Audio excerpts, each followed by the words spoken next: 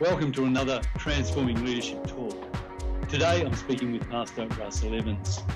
He and his wife Sam are the founders and the global senior pastors for Planetshakers Church, a large and a rapidly growing church with campuses across Melbourne and in a number of nations around the world. Russell is well known as a leader with a strong orientation to the presence and the power of the Holy Spirit. Well, welcome, Russell. Thanks, Steve. Great to be with you. Yeah, thank you. Um, it's really wonderful to have the opportunity to hear your thoughts on leading and moving in the power of the Spirit. Um, I count you as a friend and I value highly uh, your insights. So um, great to be with you today. Yeah. Thank you. Great to be with you. And uh, it's like two mates sitting down on a bench talking about the things of God. It'd be awesome. Yeah, that well, that's brilliant, and that's a great way to think about it. I wonder if we could um, just open it up by you giving us a brief overview of your experience of the Holy Spirit in your life and in your ministry. I was raised in the Pentecostal church. Um, my grandfather was a big proponent of the baptism of the Holy Spirit. So I remember at the age of six, I got baptized with the Holy Spirit, um, spoke in tongues, and uh, and then through to my teenage years, um, I remember about 14 years of age, I, I began to question God and, and I felt God speak to me saying, Well, that language that you got when you were six and that encounter that you had, did you make that up? And I had to say no because I didn't. And so it actually was good at um, grounding me in my faith for, for my Christian walk. And then when I was about 17, um, I was going through a, a stage where I was trying to find who I was and what I wanted to be. And uh, felt a call of God, but at the same time, my dad's a famous pastor, so felt the pressure and the insecurity attached to that. And I went to this youth camp and I just had an encounter with God. And I remember I really struggled with the lies of the enemy that would say that you can't speak well, you'll never be able to do something great for God. When I was 15, somebody prophesied over me that I'd be a spokesman to nations. But I had two bad experiences uh, after that that I actually withdrew and I said, I'm not speaking publicly again. And so I'm on a camp and I'm at an altar call and and I I'm talking to God and we're just Jesus, I love you, and he, he's saying he loves me, and it was a really amazing moment. And I uh, he said, I want to use you greatly, and I said, but I can't speak. And I felt him speak to me saying, Who told you that? Did I ever say that? And I said, No. And he said, I'll give you power. I'll come upon you and give you power. I said, See, I believe that when you're saved, Jesus comes and lives in with you. The Spirit of God lives within you. That's for you. But I do believe that the Holy Spirit comes upon you. That's for others. Acts 1 8, you receive power. That word power ability, efficiency, and might when the Holy Spirit comes upon you to be a witness in uh, Jerusalem, Judea, Samaria, and the outermost parts of the earth. So that encounter where God comes upon you, equips you. Uh, I call it, I, I, believe you have defining encounters in your life. You have daily encounters, you have daily devotions, but there are moments in your life that God comes upon you and marks you for your destiny and your purpose. And it was at that stage where God said to me, I'll give you power. So, really, our, our whole ministry of Planetshakers is out of your encounters with God, go change the world. And so that's why we need the Holy Spirit because He's the one who gives us ability to do that. Yeah. Yeah, well, that's um, wonderful insight. I remember uh, your grandfather very well, Russell. I remember him once in the chapel of this college um, exhorting us all um, uh, to seek the Holy Spirit, that we needed the Holy Spirit. That was all we needed. Yeah. and um, yeah, you know, I, I, just believe him. And uh, I think uh, your life and your dad's life um, is a testament to um, exactly uh, what your grandfather was expressing. Yeah. How do you think the Holy Spirit has um, shaped your leadership? The Holy Spirit said to be your comforter, your guide, your paraclete, the one who comes alongside. So he's he's the director. He's the one who leads you. Um, when Jesus was on this earth, he was the representation of heaven. So everything he did, he represented the Father. Then he says, I'm going to go away and I'm going to give you somebody who will uh, lead you into truth, and he'll give you, uh, he'll be your paraclete, he'll the one who comes alongside of you and wait for him. That's what they did in Acts chapter two, and so Jesus positionally is seated at the right hand of the Father. The Holy Spirit is the one on earth that is uh, um, operating on behalf of the Father and the Son. So I need the Holy Spirit to empower me, to direct me.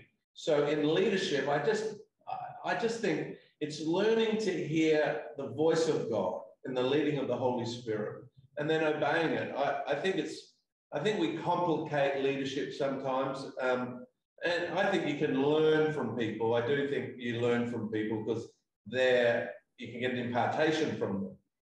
Hebrews 8 5 says, Build according to the pattern shown to you on the mountain. The mountain represents the presence of God, and in the presence of God, God designs or scars or stamps you. That word pattern is like an architectural blueprint. So when I get in God's presence, the Holy Spirit comes and designs or puts a blueprint in me for my destiny. So my job isn't to copy someone else's blueprint.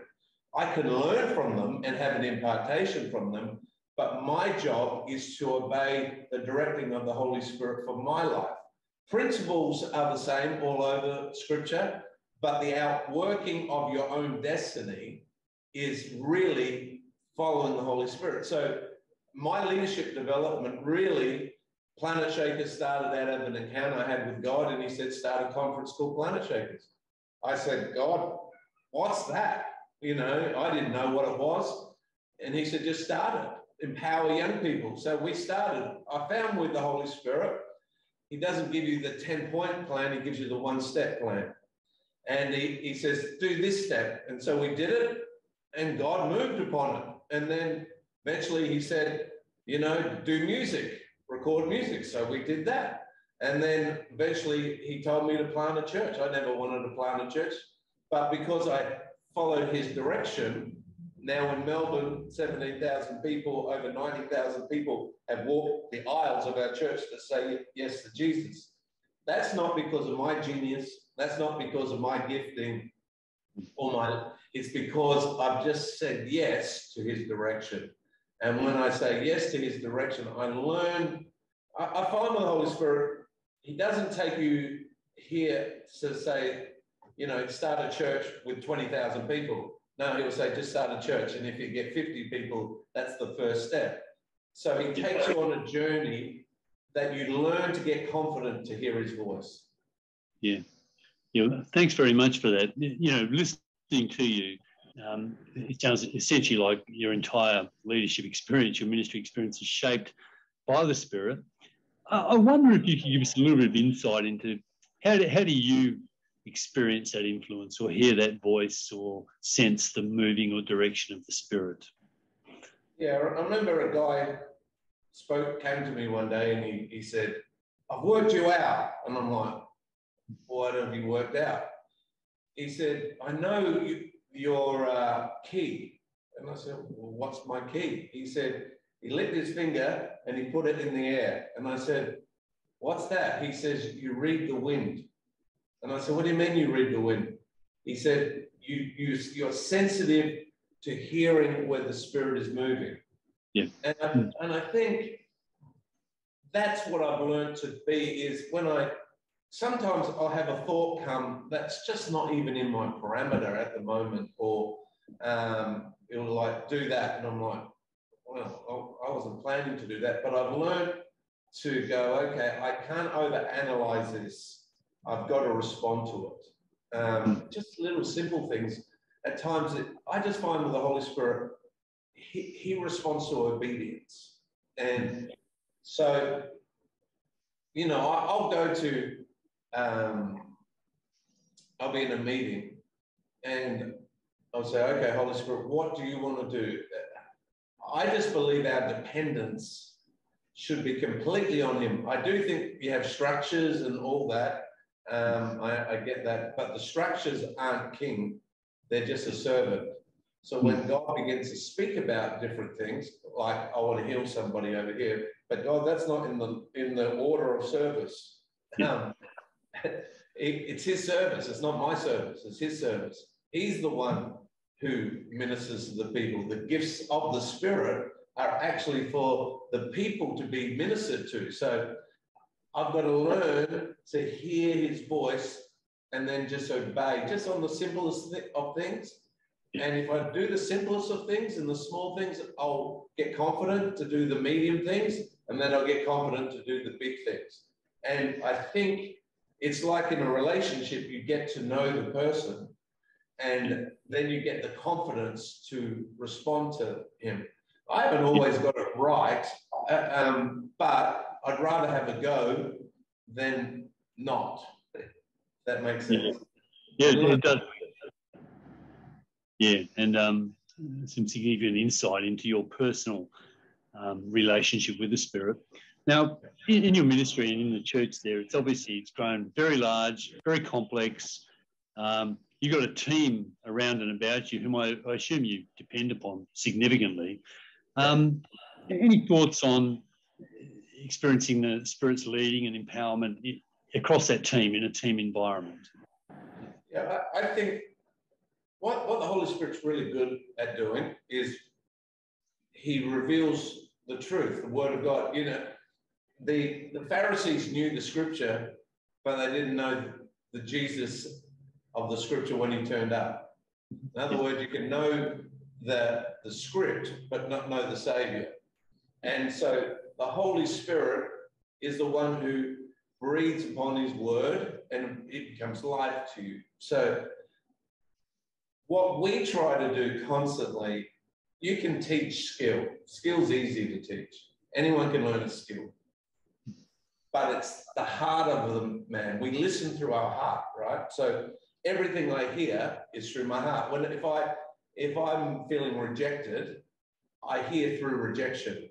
If I'm feeling, you know, good, I, I feel through that. So I think as a leader, you've got to learn to hear the voice of the Spirit for the hearts of the people you lead. Mm. And so our leadership nights or our discipleships are basically dealing with heart issues. Because if we can get people's hearts soft and get people get all the what does it what does a seed do? A seed becomes a tree and it, grow, it grows and then it releases more seed. So if I've allowed a seed of bitterness in my heart, I then have a stronghold that comes a tree, and then I release seeds of bitterness on other people. On the other side, if I have a seed of faith and it becomes a tree of faith, I release faith to other people. So it's really important that I hear God about my heart and the heart of people we lead. So then letting the Spirit of God speak to them about, come on, let that in, get rid of your heart. My wife, with our children, when she would raise them, uh, and we'd raise them, but she would speak to them. She'd go, "Have you got naughties in your heart?" And uh, and I remember my son one day. I was talking to a youth leader in my house from another nation, and uh, he had this really struggle with the senior pastor he was leading, and he had all the things that were wrong. And my, I didn't know, but my son was in his bedroom. It was about 20 at, oh no, 18 at this stage. And he walks out, he knows the youth leader well, and he says, to the youth leader, do you have naughties in your heart? Do you need to let the naughties out of your heart? And the youth leader says, he started crying. He says, yeah, I've got to let those things out. And that moment was a moment of release because he let the Holy Spirit deal with his heart. Yeah, great. So the Spirit really is the key to the unity of your leadership team and and really the um, the effectiveness um, uh, of those working together. I wonder, well, turning back to you, oh, sorry, Russell, you going to say? Um, you think about this. In a moment where you really encounter God yeah. and you have this moment with God, you're not in disunity. Yeah. You're not in, in fear or doubt. You're in, we can change the world. Yeah. Why? Because it's the Spirit of God that you're experiencing. So we've got to help people live in those moments a lot more. Yeah, yeah, great. Yeah, that's that's wonderful, Russell. I wonder, just coming back to you, you're well known uh, for your preaching. Um, can you help us understand how you preach in the power of the Spirit? Hmm. Yes, yes. Um, how I do it is I feel God speak to me. I'll be asking him, okay, what do you want to say?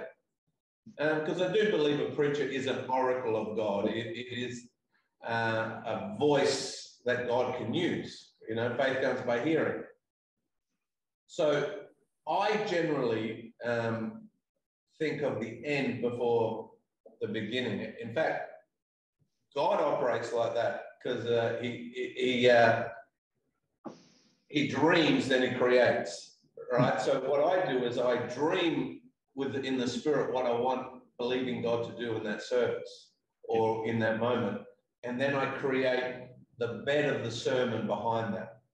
Yeah. But the whole time, the whole time, I'm trying to hear. I'm not just trying to get through my points. Uh, I'm trying to hear. Okay, are you? Is there a moment you want to go a certain way, or you um, like? He might emphasize a point. I can like I'll feel this great faith come if I, I go on a point, and I'm like, okay, and my nature will want to finish, get to the next point, but the Holy Spirit saying, No, I want you to emphasize that because I'm doing something right now. And so I've learned that I'm not the driver of this vehicle. I've created uh, with it, with a with a with his help and also diligence, getting the word. I've got the content and I've got all that, but I've got to make sure. You know, we do four services on Sunday, for example. I preach the same sermon four times, but every time it's different because every meeting, God has an emphasis for someone or some person. Because if you think about it, our sermons aren't just for the masses, they're for the individual. And so it's listening to the Holy Spirit and Him taking uh, a moment in a meeting or a moment in a sermon and he, and he takes over. Or it might be right now, stop, I just want to want you to pray for somebody with healing. I might be talking about something about healing or rejection or something like that, and I'll stop instead. And I don't even have to finish my sermon, uh, but you know I try to finish it, but I'm not in a place where I'm so locked into everything I've created to get through. Mm. that yeah. makes sense. Yeah, it makes makes a lot of sense, Russell. Um, your church uh, is really well known for, for many things, but I, th- I think many people would call it a, a, contemporary Pentecostal church. I think they would use those two descriptors, contemporary and, and Pentecostal. Um, from your perspective, what, what are the essential features or the really important features of a contemporary Pentecostal church? Yeah, good, good great question. Um, Jesus did two, he did a lot of things, but, boy, he did three things, really. Uh, he spoke the language of the day. He was contemporary. In other words, when he spoke to fishermen, he spoke about fish. When he spoke to tax collectors, he spoke about money. So he, when he spoke to the woman of, at the well, he spoke to her about her, her five husbands. Or um, so he he spoke their language. That's been contemporary. Yeah. Um, but he also had power. Hmm. And you can't get power, the power of the Holy Spirit, through the efforts of man.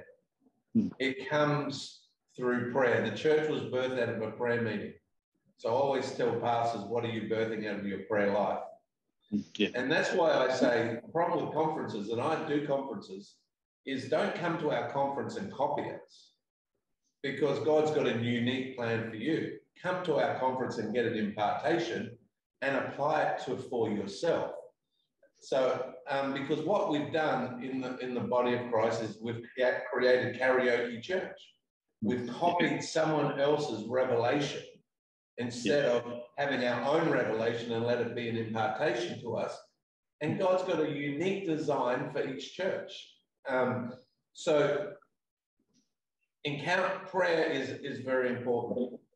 Um, discipleship is very important. Jesus said, Go into all the world and make disciples. Baptizing, the word baptize is the word baptizo, which means to be continually immersed. So if I get this mask, for example, and it was initially white, and I put it into black dye, it might come out grey the first time, but the more I immerse it, the more it becomes, takes on the nature that it's immersed into. You can't do that. You can't build that type of disciple in one week, three months, six months.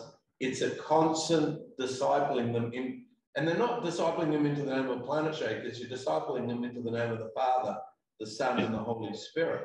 So I'm big on taking time with people. Jesus took three years with 12. He's the best leader we've ever had. He's the, the Son of God, and he took three years with 12. What we tend to do in the Western church is we rush people. And, yeah. and when you rush people, you don't deal with their heart. So I think essential to every church is a strong prayer base, hmm. is a strong discipleship um, base, and encounters with the Holy Spirit. Um, they, if we're not encountering God, see, here's the thing: people forget my sermons, they'll forget our songs, but they won't forget when God touched them. Yeah. So yeah, right. that what changes people. My sermons add to them, then the Holy Spirit takes the words, but it's that encounter. I can tell you when God spoke to me about ministry, God spoke to me about Planetshakers Conference, when God spoke to me about planning a church. It, they were defining encounters. Yeah. That's what we've got to create in our churches. God never created the church for the consumer. He created the church for the disciples. Yes, Jesus spoke the language, but I always say to people this my skinny jeans and my hat and my coolness kept, I could go into a, a hospital room when my mum was dying of cancer, and my contemporariness can do nothing to her situation. I need power. That power comes by the Holy Spirit. And, and here's the thing is you got churches that, oh, we just need the love of God. Yes, we do need the love of God. And got churches that are focused on the power of God. Yes, we need the power of God. Power without love can become abuse. Love without power can become weak. We hmm. need the love of God and the power of God married together in the church to release the works of God. Yeah, thanks for that. Yeah, what's a fabulous answer, Russell. I wonder, um, there'll be people watching this who are looking at you and admiring, um, admiring you and, and thanking God for what He's done through you. Um, someone who wants to lead in the Spirit or lead in the power of the Spirit, um, what advice would you give them? My advice would be get on your knees, mm. get in the presence of God, and just pursue God. Um, but not pursue Him in a way where, you know, sometimes. Uh, there's sometimes I pray for people and they're so desiring a breakthrough, they become the blockage to their breakthrough. So, God, please move. And, and you go pray for it. And they're, and they're just so wanting to get touched by God that they actually, their, their enthusiasm stops them from receiving. So, my thing would be pursue God in his presence and let him minister to you. Listen to him. Let him come upon you. Uh, let him fill you. You know, we all leak, as we've heard people say um, over the years. So let God fill you again. Um, and, and also um, understand that God's ability in you uh, I think the biggest challenge in our day and age um, for anyone who's successful or for anyone who wants to be successful is pride because what happens is we get we get self-dependent instead of instead of God-dependent. And I'm I'm trying to work walk this season that says, God, I need you in everything. I can't I can't do it in, in who I am. It, I can only take people so far. You are the one. So would you come and give me your ability? Would you come and fill me with your presence? Would you come and direct my paths? And and I just, yeah, you know, when we had we were in lockdown, um, Melbourne's the most lockdown city in the world. Hmm. and there was each lockdown, I had to get, I needed a key from the Holy Spirit. Um, so one was, I felt the Holy Spirit says, there's going to be 40 days that we were going to have lockdown around that. So why don't you ask God to, if you've got a habit that you need broken, let's over these next 40 days break the habit. And people got free. And then the next one, I felt the Holy Spirit say, get people to pray in, in the Spirit um, for six minutes a day or 10 minutes a day Mhm. and start their day doing that because it builds yourself up. And so that's what we did. And people came through that season really well. And actually, their prayer life um, was so much stronger. So it's getting the keys from Him. He is, the Bible says He gives you the keys of the kingdom. What you bind on earth shall be bound in heaven, what you loose on earth shall be loose in heaven. I discovered the keys of the kingdom come through. There's principles in the scripture, like the sword of the spirit. It- it- there's a whole heap of things. Praise is the key. Um, giving is a key. There's a whole heap of biblical principles that are keys. But you need the right key for the right door to open up the thing. So I'll say, God, I need the key for that. What's the key? And he'll say, do this, and I'll do that. So learning to just listen to that voice and it's better having a go and learning than not and i've learned what not to do and i've learned what to do in hearing his voice Yeah, thank you. Uh, thanks very much, Russell. Thank you very much. I, reckon you've given us some uh, great insight and some great wisdom. In fact, I think some of the, the thoughts you brought us here today are quite remarkable. So I'm very grateful, and I'm sure the uh, listeners, the watchers, are very grateful for what you shared with us. Thanks, Russell. thanks steve my pleasure Well, thank you all for listening to this Transforming Leadership talk. You can find more talks at uh, transformingleadership.com. God bless you richly in your leadership.